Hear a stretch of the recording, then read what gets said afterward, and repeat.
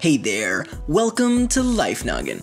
You're all lucky enough to live in a world where technology is at your fingertips. And I mean, I need technology to survive, so I'm pretty thankful for its existence too. Thank you, animator, I love you. Not only does it entertain you, but it also probably saved your life. To understand why, let's take a trip to London in 1854. At this time, a town was struck with a terrible outbreak of cholera, a disease which makes you have watery diarrhea for days, leading to dehydration and potential death. The reason for the sudden outbreak, you're wondering? Well, it turns out that the water from a certain pump was contaminated with, wait for it, sewage water. Yep, it's about as gross as it can get. But today, for most of you watching, this would never happen. And that's because of improvements in water purification. These include filtering the water with sand, gravel, or charcoal and then disinfecting it to kill any parasites. And it's fairly safe to say that if it weren't for this, potentially deadly diseases may be much more common, and you would probably not be around to watch this video. But what about other possible threats to your life, like diseases? Take polio, for example. This incurable disease destroys nerve cells, leading to paralysis and possibly suffocation. But vaccines have eradicated it through most of the world. And if it weren't for smallpox vaccines, it's estimated that 2 million people would die every year from the disease. And to put that into perspective,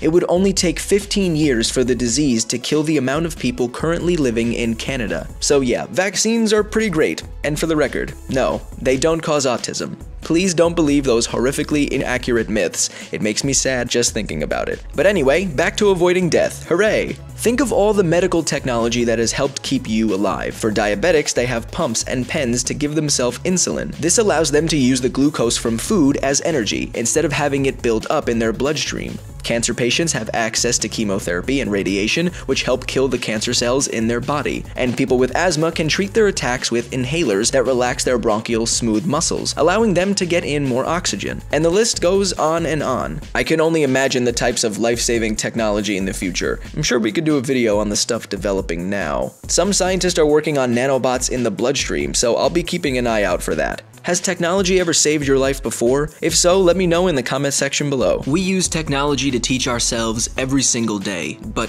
what if we were never taught anything?